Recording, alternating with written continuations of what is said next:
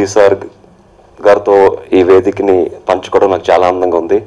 ఎందుకంటే పూరి సార్ బద్రీ టైంలో అప్పుడే నాకు తమ్ముడు రాజకుమారుడు ఒక క్లాష్ అప్పుడు ఆ పవన్ సార్ దగ్గరికి చేయాల్సిన షూటింగ్ నేను చేయలేకపోయాను. అప్పుడు ఆ సినిమాలోంచి నన్ను తీశారు తమ్ముడు సినిమాలోంచి సో అప్పుడు నెక్స్ట్ బద్రీ సినిమా కోసం పూరి సార్ దగ్గరికి వెళ్ళినప్పుడు నాకు ఎప్పుడైతే ఈ సినిమా నేను చేస్తాను కాస్టింగ్ మొత్తం నేనే చేస్తా అన్నారో పూరి సార్ నాకు పవన్ సార్ని పరిచయం చేయడం జరిగింది.